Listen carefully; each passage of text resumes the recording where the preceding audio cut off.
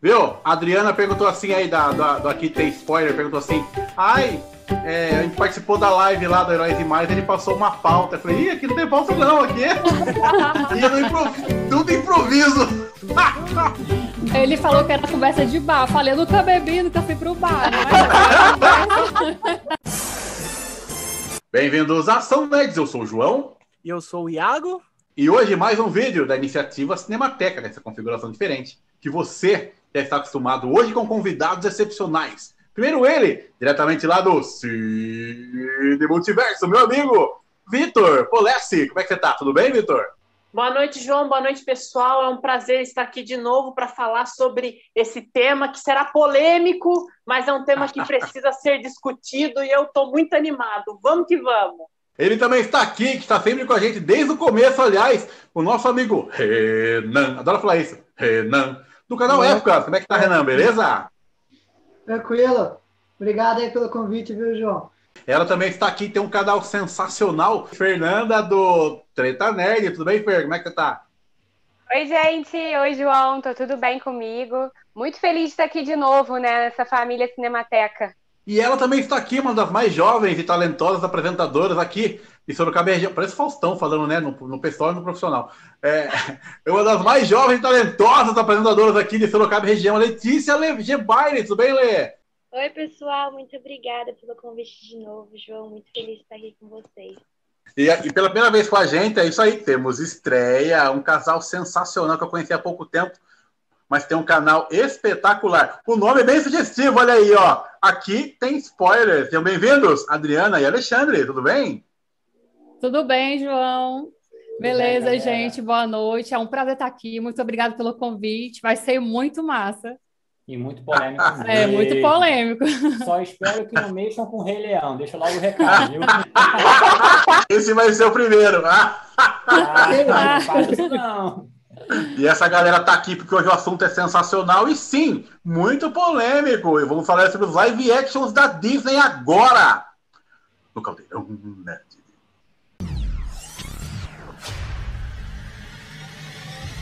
É a Disney já reina absoluta no, na, nas animações desde 37, 1937, quando ela lançou Branca de Neve e os Sete Anões. Depois disso, foi uma enxurrada de animações, uma mais divertida e mais emocionante do que a outra. Só puxando para a memória, nós tivemos Cinderela, A Bela e a Fera, Pinóquio, Bambi, O Rei Leão, A Pequena Sereia, Mulan e muito mais. Eis que em 96 a Disney lança live action de 101 Dálmatas, com Glenn Close no papel da Cruella Cruel, e o filme é um tremendo sucesso. Mas não foi o bastante para fazer um, uma onda de live actions. Essa onda começa em 2010, quando a Disney lança Alice no País das Maravilhas, que não é bem um remake, ele é mais um, uma continuação barra remake, vai. Mas ele tinha dois diferenciais. Primeiro, o Tim Burton na direção. Segundo, o Johnny Depp no auge da carreira. O filme rendeu mais de um bilhão de dólares nos Estados Unidos em todo o mundo. E aí a Disney pensou: opa, tem alguma coisa aí. Olha, olha. Depois disso, nós vimos foi uma enxurrada de live actions. Começa em 2014, se não me engano, eu estiver errado, vocês me corrigem, tá? Com Malévola, e depois de Malévola vem Cinderela, e vem Mogli, e vem Aladdin, e vem Rei Leão, e vem Mulan, e parece que a lista não vai parar. O que eu quero dizer é que os live actions da Disney chegaram para ficar. E eu não sei se eles vão parar de ser produzidos. Eu começo com você, meu amigo Vitor Polessi. Os live actions da Disney, eles são um tremendo sucesso de bilheteria, principalmente todos os filmes que eu citei, a maioria deles rendeu mais de um bilhão de dólares nas bilheterias. Mas parece que em todos eles falta alguma coisa que eu não sei bem o que é. Eu estou com a razão ou eu estou errado? O que você pensa sobre os live actions da Disney, de forma geral, meu amigo Vitor, por favor? É, então, eu acho sim que você está certo. Eu acho que o que a Disney está fazendo é capitalizar em cima da nossa memória afetiva da nossa nostalgia. E é isso que ela está fazendo. Ela viu que deu certo e agora ela está insistindo e ela não tem nenhum esforço para tentar trazer alguma coisa nova. Ela simplesmente pega a base da animação, muda uma coisinha aqui, outra coisinha ali e manda para nós como se fosse a coisa mais legal. E eu acho o maior problema desses live action é que eles têm essa função. Eles não têm uma função de trazer um outro prisma da história ou trazer alguma coisa, algum diferencial da história que faça mesmo a gente querer comprar aquela narrativa e que a gente fala, pô, que bacana, valeu a pena ir ao cinema ver isso e não simplesmente, ah, vamos ver porque agora são pessoas reais fazendo com efeitos visuais e tudo. Então, acho que falta sim, eu acho que falta mais criatividade, eu acho que falta mais coragem. A Disney teve algum, algumas coragens, mas isso ficou meio do caminho, ela deu muito para trás, mas eu acho que está faltando muita criatividade, muita coragem para a gente poder comprar esses live action e para eles poderem mostrar por que, que eles existem. Eles precisam ter um, uma função para eles existirem. Porque senão é só ver a animação, porque a animação já é boa por si só. Não, não é necessário fazer um, um live action. Então, eu acho que está faltando mais coragem na Disney mais criatividade. Ô, Fer, os live actions, todos eles, sem exceção, todos, sem exceção, é, talvez tirando o, o 101 Dálmatas, talvez, estou puxando pela memória, tá? posso estar errado, mas a maioria deles foi muito criticado com uma parcela, uma grande parcela da crítica, vai, especializada, vamos colocar assim. No entanto, o público respondeu muito bem, como eu coloquei na minha fala inicial, os filmes, a maioria deles bateu um bilhão de bilheteria, a maioria deles. Você não acha que a crítica está pegando um pouco pesado demais? Então, ainda pegando o gancho do que o Vitor falou, é, eu acho que esses, esses desenhos né, que se tornaram live actions, eles realmente têm uma nostalgia muito grande. Então, o público vai né, com a intenção de ah, viver aquele momento de novo de uma forma diferente, mas quando chega lá, às vezes se decepciona um pouco, porque a expectativa também era muito alta em torno do filme. E, na verdade, a pessoa só vai ver um pouco mais do mesmo, né? Fora a questão da Alice e do Tim Burton, que foi uma coisa um pouco mais diferente, ele levou para o lado sombrio e trouxe talvez alguma coisa nova ali, né? De usando mesmo a base e tudo, mas trazendo alguma novidade. Os outros são muito parecidos, né, com, com as animações. Então, assim, eu como é, consumidora, né, eu sempre vou, gente, se lança qualquer coisa, eu tô lá para assistir o live action mais uma vez. É, eu sempre espero atuações ótimas, mas eu sei que não vai sair um Oscar, entendeu? Porque é um roteiro já estabelecido ali muito no básico.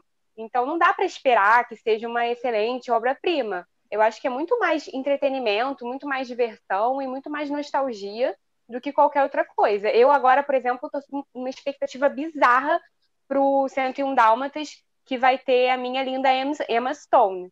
Então, assim, eu acho que ela vai arrasar, que vai ser lindo, mas eu também não acho que ela vai ganhar um Oscar por esse papel e que vai ser o melhor filme do mundo, entendeu? Eu acho que vai mais satisfazer o meu desejo de ver aquilo, porque eu gosto do desenho e tudo mais, do que qualquer outra coisa.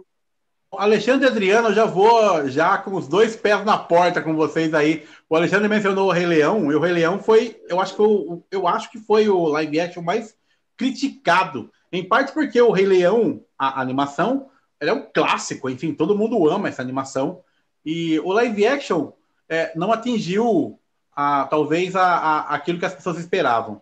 Na opinião de vocês, o problema do Rei Leão, o live action, foi expectativa ou o filme é ruim mesmo? Assim, cara, eu não, eu não sou de achar filme, filme ruim, ruim, não. Eu, eu sempre acho. Para mim não tem filme ruim, depende muito da Sempre curte o momento. Né? Só que assim, o filme Rei Leão, que não, não, é, nem, nem um live action, na verdade, né? Ali é uma animação, só que mais, mais, mais, com mais tecnologia.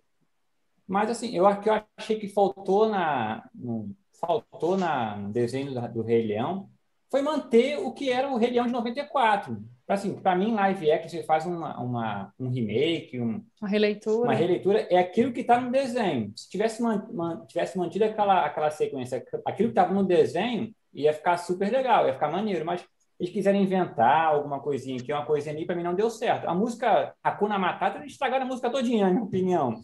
Hakuna Matata, é aquela, o ciclo sem fim, mexeram muito na música sem necessidade. Para mim, o único problema, o único problema para mim foi esse. Eu já curti, porque assim, é, a animação eu não conhecia quando era criança, que ele tem uma relação muito é, efetiva. com, essa, com a animação, e eu não tive. Na minha época, eu não tinha muitas condições de comprar é, fita cassete e tudo, né? Então eu não conhecia muito bem. Aí depois de adulta que eu vim conhecer a animação, amei a animação e no cinema fui assistir o live action. Para mim foi normal, foi de boa, eu curti, né? Agora ele que tem essa, né, essa emoção toda com a animação, ele não curtiu bastante, mas eu para mim foi de boa. Ô Letícia, estamos aqui falando de nostalgia e você tem quantos anos mesmo? Eu tenho 13. Tá, a Letícia é um ano mais velha que a minha filha. Eu também tenho um adolescente em casa, então, assim, é, é esse papo de nostalgia funciona pra gente que é velho, velho paia, né? Para vocês mais novos, qual a sua visão, Letícia, sobre os live actions da Disney no geral? Se assim, você gosta, não gosta? Dá um panorama do que você pensa a respeito, por favor. Eu acho que tem muito a ver com o que todo mundo falou, que é a nostalgia. Todo mundo que sempre assiste animação de qualquer filme da Disney é uma coisa tão bonita, tem uma essência de infância tão grande, então é gostoso você assistir aquilo. É um, você tem uma vontade, é uma coisa incrível. Agora você vai com a esperança de assistir live action, tendo a mesma sensação que você teve assistindo a animação. Eu, particularmente, gosto da maioria dos live actions. Tem alguns que eu não gostei, como o Rei Leão, eu acho que a maioria das pessoas realmente tem uma crítica muito grande por ele mas a maioria eu gosto bastante, acho que são bem produzidos, mas é sem comparação às animações. Ô, Renan, a Fernanda mencionou uma coisa interessante na fala dela. Ela disse que, se eu estiver errado, amigo Reis, tá, Fer? Que ah. geralmente é, a gente vai com aquela. Putz, esqueci que eu ia falar. eu velho, cara. Eu esqueci que eu ia falar. Puta que pariu. Tá ficando gaga, rapaz. Nossa! Tô ficando gaga. Nossa, matei de vergonha. Agora a Adriana e o Alexandre estão assim, viu? Que é bom ter pauta? viu como é bom ter pauta, seu trouxa? ah, não importa, vou adaptar a pergunta. Ô, ô Renan, é o seguinte, é, os live actions, veja bem, os live actions são uma faca de dois gumes, se você pensar bem. Porque se você faz igual, como foi o caso do Rei Leão, as pessoas reclamam que ah, tá muito igual a animação, então prefiro assistir a animação. No entanto, se você faz uma coisa diferente, tipo Malévola, Malévola, o que, que ela faz? Ela transforma a história da Malévola, transformando a Malévola, teoricamente, numa anti-heroína. Concorda? As pessoas reclamam porque, nossa, mudou demais a animação. Então, assim, é, o que é preciso para agradar o público, né? Se você pensar bem. Então, assim, qual que é a visão? Qual que é a sua visão sobre esses, sobre esses live actions? Eles têm que realmente ser igual à animação ou tem que ter uma diferença para ter uma coisa um pouco com mais substância? Qual a sua visão, meu amigo Renan? Foi uma boa pergunta aí que você falou. Realmente é isso, né? Que a turma ela não sabe assim, fica naquela dúvida, né? Se for igual, a pessoa reclama. Se fazer diferente, a pessoa também reclama. Porém, eu falo assim: eu gosto que fosse igual. Como já está trazendo uma nostalgia que é o mesmo, eu gosto que traga igual. Que nem Rei Leão, eu me decepcionei bastante. É um filme que eu estava ansiosíssimo para assistir. Aí chegou no filme, eu falei, nossa, vai ser sensacional, né? Cheguei para assistir o filme, me decepcionei ali. E teve a Mulan também, que eles pegaram e tiraram o Mushu, porque falaram que não existia um dragão na China. Aí já no caso de Mulan, a gente já, já gostou bastante de Mulan. Mulan, Opa! Mulan eu já acho que um live action igual ao desenho não Não, não ia legal. caber, porque a animação tem muita música, ele é mais para o público infantil. E eu acho que o live action não, é mais para o adulto, para a gente refletir mais sobre as coisas. Eu curti. Então, eu acho que a gente tem dois produtos para assistir agora. Tem a Mulan animação e tem a Mulan live action. Eu acho assim que a atriz foi legal, se encaixou, mas tipo, ficou meio estranho ali. Como que a turma não viu que aquela mulher tipo, se transformada em cara de paisagem, né? Ficou Ela faz a cara de paisagem também, né? Atriz, é, isso me incomodou. É. A cara de paisagem dela, meu Deus. Não passava emoção nenhuma. Sempre a mesma cara. Feliz, triste, a mesma cara. Ela até fala no filme que ela fala que como é que eu tô agora? Ela fala, a mesma cara de sempre, não sabe se está com raiva, se está triste, ela fala, até ela mesma fala isso no filme. Ô, Vitor, fala do Mulan, o que, que você achou? Você gostou? Dá suas impressões sobre o filme.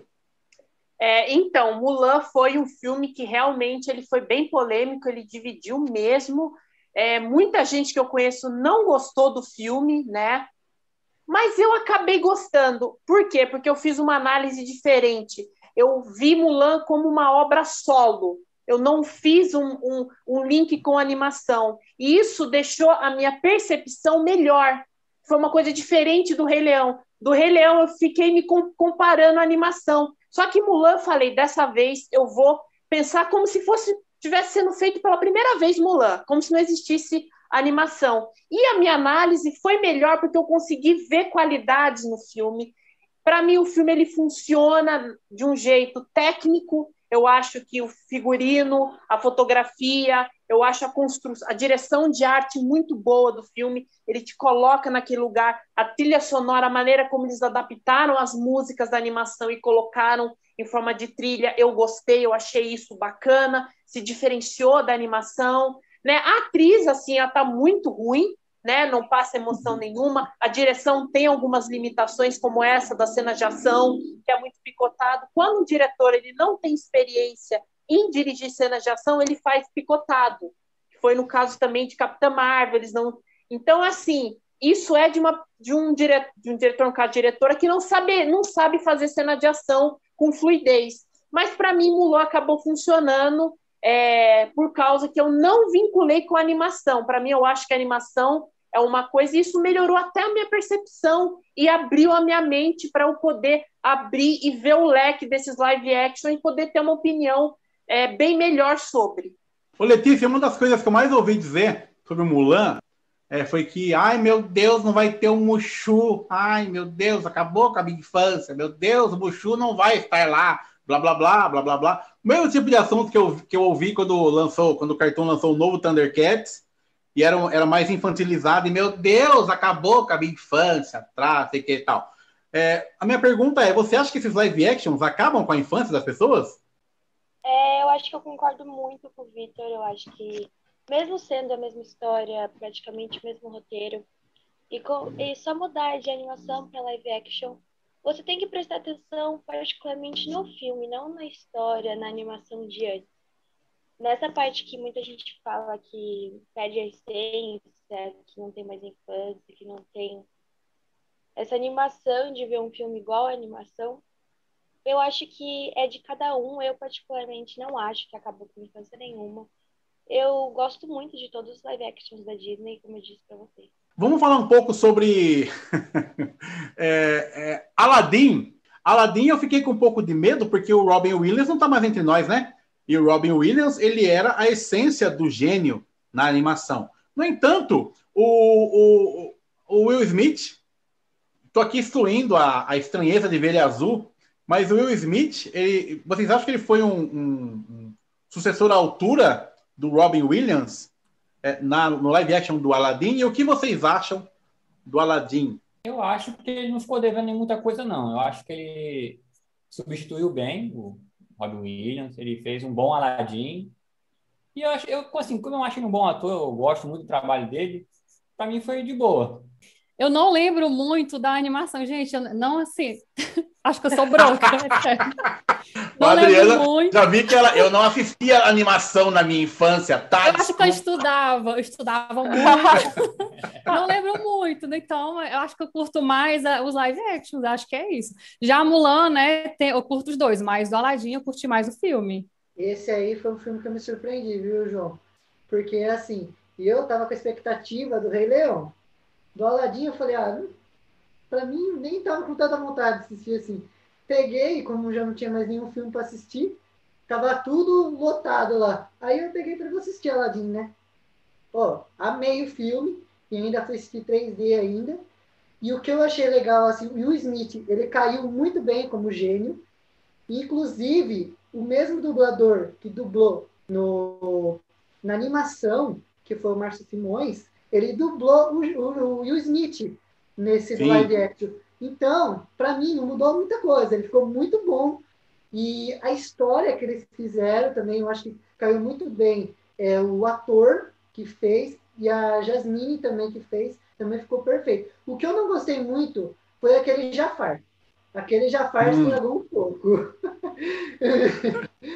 ele não tem cara de mal ali, não, não caiu muito bem o ator ali para ele, para ser o Jafar.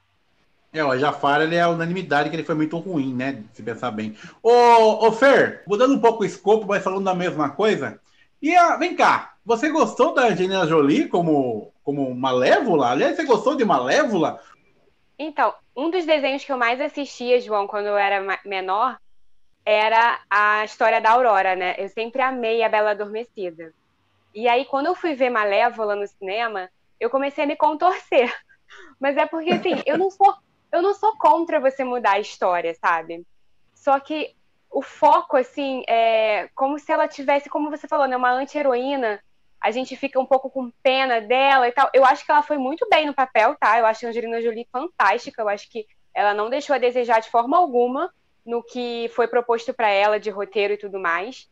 Só que assim, o pai da, só para começar, né? O pai da Aurora era um cara tipo,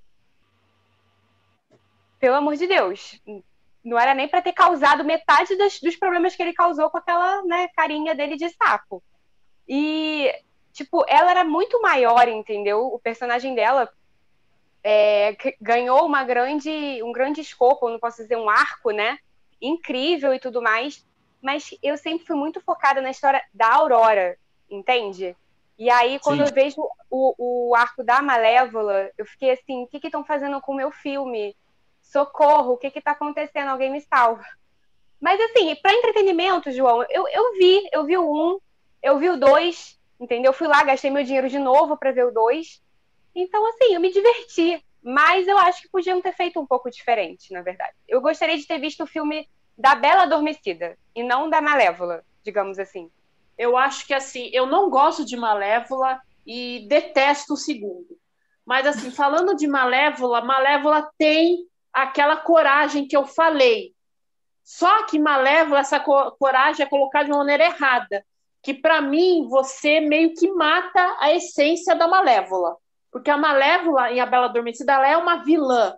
Então, a partir do momento que você tem um filme solo dela, você poderia construir essa vilã e mostrar por que, que ela se tornou aquilo. E não, de uma certa maneira, suavizar a personagem. Porque ela é uma vilã, sabe? Então, eu acho que, assim, pelo fato da, da Angelina Jolie ser uma atriz muito conhecida, existe até boatos de que quando vem um ator muito forte para um papel que é um papel mais vilão, eles tentam sempre dar uma humanizada, deixar o personagem mais suave, como foi no caso até da própria Jennifer Lawrence como mística nos X-Men.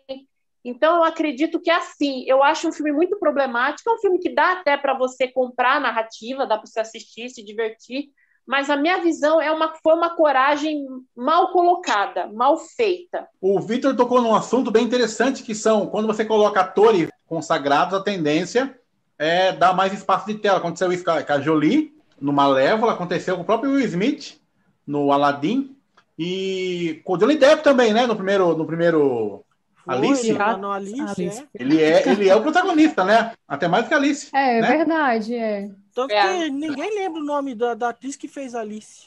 Realmente.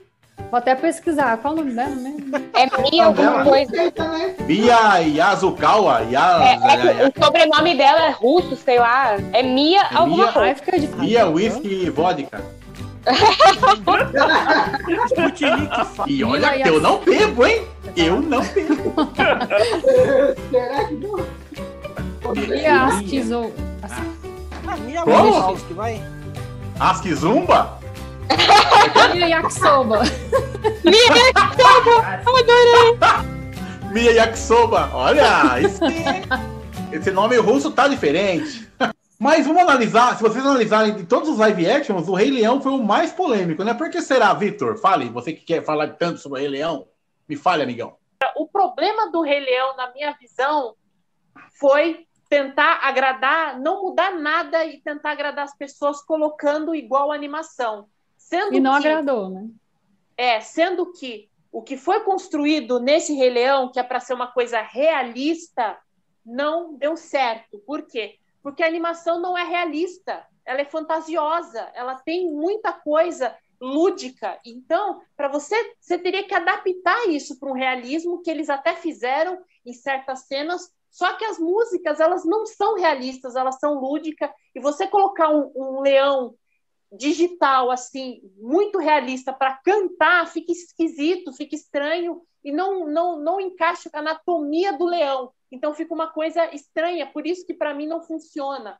Se eles tivessem deixado, colocar, colocasse as músicas como trilha, que nem fizeram como Mulan, para você lembrar, dar um tom mais sério, mais sombrio. Eu senti falta disso, sendo que tinha momentos que dá para você criar momentos de tensão, de coisas sombrias. Eu acho que o filme poderia ter dado até mais certo. Eu acho que o filme ele se perdeu nisso. Ele quis abraçar o realismo e quis juntar o lúdico e para mim eles não se conversam. E aí não acabou não dando certo o filme. Embora eu adoro o, os efeitos visuais do filme. Para mim é perfeito aquilo.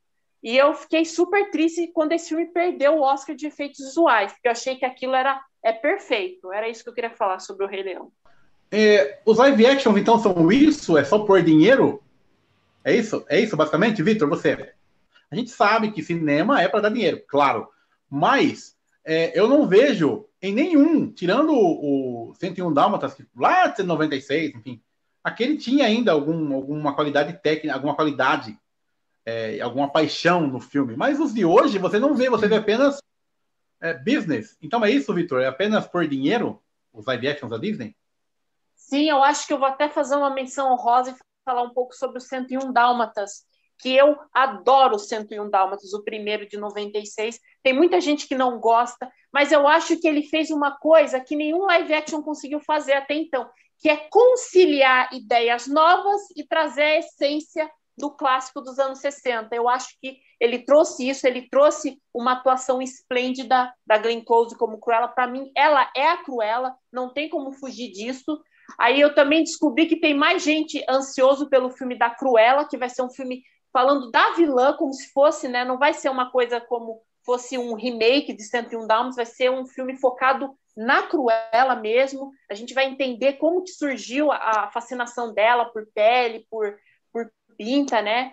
Então eu acho que assim, eu espero que a partir de agora com o Disney Plus, com mais investimento, a Disney consiga é, trazer vários live action, mas com coragem, com criatividade, porque as animações vão continuar lá, sabe? Não precisa fazer de novo um copia e cola. Eu acho que você pode apostar em ideias arriscadas, em trazer coisas que podem decepcionar o público, mas pelo menos é uma intenção de trazer algo novo, algo diferente, para justificar sua ida ao cinema e não simplesmente, ah, estou nostálgico, vou, vou para o cinema assistir. Então, eu acho que eles estão se capitalizando, eles vão continuar, mas eu espero que a, a, partir de agora, né, com os anos que virão, que agora vai ser cada vez mais live action, porque com o Disney Plus agora eles vão lançar muitos live action, né, por ano. Então eu espero que haja mais, como eu falei, criatividade, mais coragem para a gente poder ter é, um cinema muito mais amplo, novas histórias e histórias que possam ser recontadas de uma maneira bacana. Ô Fer, mesmo os, os live actions mais fofinhos, como Christopher Robin ou Adame o o Vagabundo, os mais fofinhos também você acha que é só por dinheiro? Eu acho que não dá para fugir muito disso, sabe? Porque qual seria a motivação principal deles de pegar uma história que já foi feita e refazer? Eu acho que eles estão pegando os grandes clássicos, né, que já são amados pelo público, que já vai ter público certo, e estão refazendo. Eu acho que sim, acho que é por dinheiro, mesmo os mais fofinhos. É, dessa leva de live actions, o Mogli é considerado por muitos como o melhor exemplar dessa nova safra. Para vocês, o Mogli é o melhor live action até agora? Ah, eu gostei muito, né, João? Acho que ficou é, bem lúdico, ao mesmo tempo que as imagens ficaram bem reais. Eu acho que sim, acho que o pessoal tá certo em falar que Mogli tá tá, tipo, não em primeiro lugar para mim, né? Mas que tá entre os melhores, com certeza. A gente gostou bastante do Mogli também. Não é o, não é o meu favorito, mas eu gostei bastante sim. Acho que foi o que mais seguiu a linha ali do original, se não me engano. Adriana também gostou?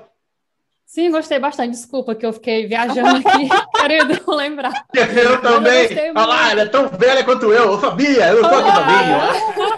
Não, tava lembrando que tem a, a Scarlett é, Johansson, né? Que ela narra, que ela é a dubladora no filme, né? Eu tava lembrando disso, querendo só lembrar aqui de alguma coisa para poder falar. Ô, Letícia, para você uma pergunta diferente. É, não, não mencionamos o Dumbo, do Tim Burton. Michael Keaton, Colin Farrell, elenco muito bom. ainda. E é- não assistiu, é um filme que eu particularmente gostei bastante. E você, Letícia, você gostou do Dumbo? E fala também sobre o Mogli, se você quiser. Fique à vontade. É, sobre o Dumbo, tá nos meus top 3, é um dos meus filmes preferidos. É, eu sempre gostei bastante da história e eu acho que a produção técnica é muito, muito boa. A dublagem eu gosto bastante, não sou muito de falar sobre isso, mas foi uma coisa que eu também gostei. E Mowgli também é um filme incrível, eu acho que entre o público foi um dos que mais fez sucesso e que o pessoal mais gostou. Muito bem, então eu quero que vocês coloquem para mim o top 3. Vamos lá. Top 3 dos melhores live actions da Disney, começando com você, Renan. Dá nem pra pensar assim primeiro? Já... Te Quer vira, pensar? cidadão. Te vira. Vamos lá. É no susto. Já assim, ó, na lata. vai. Na lata. É, vamos assim. É, em primeiro lugar, eu vou com o Aladdin de live action. Em segundo, vai o 101 Dálmatas. E em terceiro, eu vou escolher o Mogli. Então, eu vou colocar o 101 Dálmatas, né, que eu já havia comentado. Vou colocar o Mogli, que eu gostei muito de Mogli, eu achei que foi uma adaptação bacana. E em terceiro lugar, eu coloco Alice no País das Maravilhas, porque eu gosto muito do Tim Burton. Achei que ele conseguiu fazer uma coisa bem interessante. Eu gosto da estética que ele trouxe no filme. Então, para mim, o top 3 live action meu favorito e os melhores, na minha visão, são esses três. Em primeiro lugar, eu coloco Aladdin, que me surpreendeu muito, eu não esperava. É, o que eu gosto muito são as músicas. Em segundo lugar, coloco Alice nos País das Maravilhas, também gosto bastante de todos os atores. E em terceiro lugar, o Dumbo. Pode dizer a sua, depois fala. Pronto, ah, eu vou começar do terceiro. O terceiro lugar para mim é Christopher Robin, o Ursinho Pooh. Para mim, depois eu coloco Aladdin e Mulan. Tá me copiando. É, não. Tá me copiando. Não, não. Mas eu vou, eu vou colocar outra, então. É a Ah. Dama e o Vagabundo, que eu gostei, Ah. vai, vai ficar no 3, terceiro lugar. É, o, o Singapur no segundo.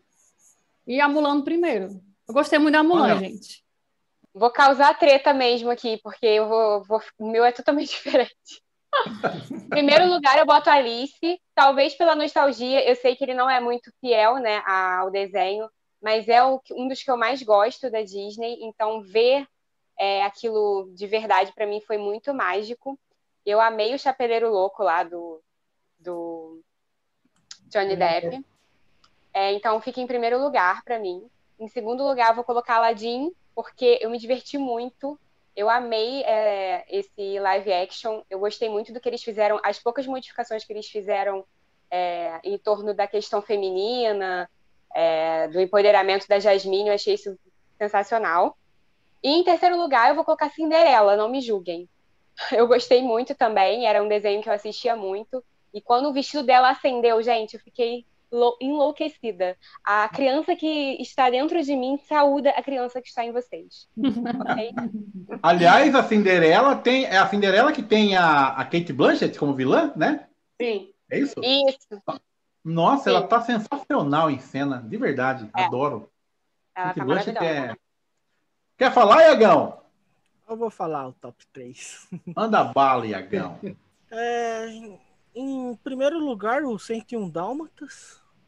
É, é, eu gosto muito dessa, desse filme. Em segundo, Aladdin, porque eu gosto muito do diretor, que é o Guy Ritchie. Que eu, poxa, Guy Ritchie hum, hum, sempre faz um filme de, de ação e eu achei um, um filme mais fantasioso dele, assim, que foi o Aladdin, né? Deu uma. Parece que hum, o Guy Ritchie é, mostrou que ele também sabe fazer fantasia, além de só fazer ação, né? Em terceiro lugar, o, já clássico, né, do Tim Burton, vou aí com a, com a Fernanda, né? É, Alice nos Países da, da Maravilha, né? Também porque é do Tim Burton, gosto muito do Tim Burton. Eu nunca pensei num top 3 assim de, de, de live action, na verdade. Nunca mesmo. Tô pensando nisso agora. Eu tô igual o Renan. Renan, pegou o Renan. Aí, Você jogou pra gente essa bomba. João. E você É. não tinha. eu, eu fui pego nisso mesmo por mim mesmo. Olha como eu tô ficando velho. É um velho paia, meu, né? Nossa, velho paia. O Alexandre e a Adriano nunca mais vão querer gravar com a gente. Nunca mais. É Nossa, Que não tem isso, pode chamar. Tô adorando, Eu- pode chamar. Nossa, não tem pauta e o cara esquece tudo. Meu Deus, que zona. então, o meu top 3, assim, seria. Puta, eu gostei muito do Dumbo. Eu sei que ele tem problemas ali, mas eu gosto muito do Dumbo. Eu achei ele muito fofo.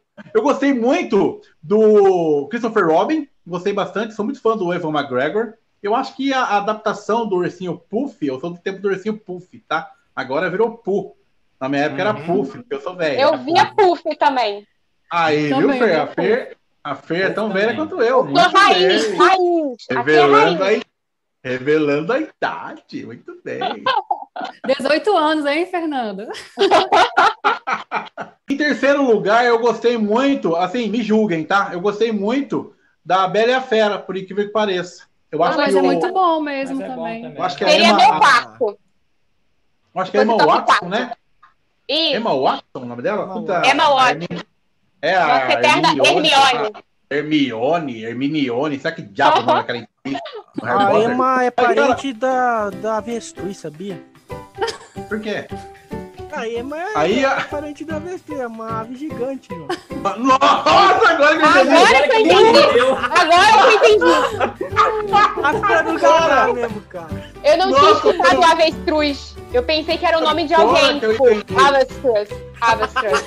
São todos parentes, né? A Emma Stone, a, a Emma, Emma Watson e agora a Emma Struz. Mas deixa quieto. Emma Enfim, nossa, vem me dar um tiro, por favor. Eu gostei Nossa. muito da Bela e a Fera. Eu gostei muito da Bela e a Fera. Eu acho que é um filme bem digno. E o. Qual é o nome dele? O Luke Evans, né? É. Que faz o. É, Cara, tá sensacional. Ele tá espetacular em cena. Eu não gosto dele. Eu não gosto dele como ator. É engraçado a pessoa fala assim, eu, eu gosto dele como ator, mas não gosto como pessoa. Eu gosto dele como o quê? Como avestruz? Não, né? Sério, eu acho ele um péssimo ator. Eu acho ele um péssimo ator. Mas na Bela e a Fera, cara, ele tá muito bem. Muito bem. Muito bem mesmo. Então, meu top 3 é esse. Beleza, galera? Beleza. Beleza. Muito bem, chegamos ao fim de mais um vídeo. Ah, que chato, que desagradável, né? Ah. Mas não fica não. Logo, logo nós voltamos com a iniciativa Cinemateca. Meu amigo Vitor Poleste, tem suas palavras finais? E já me diga onde é que eu encontro você, amigão, nas redes sociais. Primeiro, muito obrigado mais uma vez pelo convite, obrigado por esse papo saudável, por esse papo divertido, a gente sempre passando uma mensagem positiva para as pessoas que estão nos assistindo, que é possível e existe debate saudável, sem agressão, sem querer impor opinião em cima do outro. Então, isso que é o mais importante que a iniciativa Cinemateca é, proporciona. Eu sempre falo isso porque sempre tem gente nova entrando, né? Então, pode ser que a primeira pessoa esteja vendo esse vídeo, então eu já deixo essa mensagem é, para todos os vídeos que eu participo, que eu acho muito importante. E pode me encontrar no meu canal, o Cine Multiverso, e também no meu Instagram, que é o Vetor Oficial, que eu também estou fazendo umas coisas bem legais por lá. É isso aí. Meu amigo Renan. Renan. Diz pra gente, amigão, suas palavras finais. E já me diga onde é que eu encontro você, amigão, nas redes sociais. Eu quero agradecer bastante aí, mais uma vez, por essa inicia- iniciativa, Semana Teca aí. E e Iago, né, Iago? Aí, ó, tipo, sempre trazendo comédia aí pra gente nos vídeos, né? Verdade, Sempre. tem que fazer Cada uma que ele solta aí. É, Iagão. Então, e para encontrar eu, é assim, no Instagram você vai encontrar como canal Épocas. É, no YouTube também vai estar escrito como canal Épocas. E já no Facebook é, vai estar Renan Épocas. Meus amigos do Aqui, tem spoiler, Adriano e Alexandre. Já digam suas palavras finais e falem pra gente onde é que encontramos vocês, meus amigos, nas redes sociais. Já quero agradecer bastante, né, por essa, por esse momento especial. Muito feliz, já quero ser convidada para outros vídeos, tá? Por favor, chame a gente. E vocês encontram a gente no, no, no YouTube, é no, no Aqui Tem Spoiler, no Instagram Aqui Tem Spoiler, no Facebook é Aqui Tem Spoiler e Twitter também Aqui Tem Spoiler. Gente, aqui tem spoiler. Não falta O que não falta é spoiler. agradeço, de- agradeço demais pelo convite aí. Fiquei muito, muito, muito feliz mesmo pelo convite. E que venham mais. Ah, vai vir com certeza. Letícia Gebaile, minha amiga! Minha amiga que dorme cedo, mas fica aqui até quase meia-noite por nossa causa. Ei, minha amiguinha, já disse pra gente suas palavras finais? E diz aí pra gente também, onde é que encontramos você nas redes sociais? Queria agradecer novamente a vocês, João, pelo convite. É um prazer estar com vocês aqui. E nas minhas redes sociais são todas Letícia G. Tem no Instagram, Facebook e YouTube. Muito bem. Fer, mais uma, hein, Fer? Já virou sócia aqui já, né? Já virou sócia aqui com a gente. Fer, já diz aí suas palavras finais e, como sempre, já diz aí onde encontramos você, amiguinha, nas redes sociais, por favor. Queria agradecer mais uma vez, estar aqui com vocês. É sempre muito bom. Sempre tem uma pessoa diferente que a gente não estava antes. Então foi muito legal hoje conhecer a Letícia, conhecer o Renan. Muito obrigada aí por, por essa troca. Acho que isso é super legal mesmo. Vocês conseguem me encontrar no YouTube como Treta Nerd e no Instagram eu sou também o arroba treta underline nerd. Então vai lá para conferir o que a gente tem. A gente está sempre colocando coisa nova para vocês também. Muito bem. Iagão, mais uma. Mais uma, João. Iagão, já diz aí você, onde é que eu encontro você nas redes sociais, amigão? Diz aí. Ah, aqui no YouTube é Caçadores Cult e no Instagram Caçadores Underline Cult. E se eu der uma sumida, gente, é que eu tô ouvindo aqui ó, o novo LP do Gilberto. O